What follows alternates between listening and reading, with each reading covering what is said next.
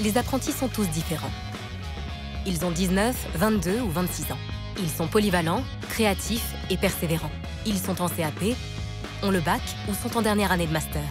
Ils veulent travailler dans le numérique, le BTP ou l'industrie et sont des milliers à être encore à la recherche d'un contrat d'apprentissage. Recruteur, RH, chef d'entreprise. Le plus dur, ce sera de choisir. Recrutez votre future pépite sur unjeuneunesolution.gouv.fr. Ceci est un message du gouvernement.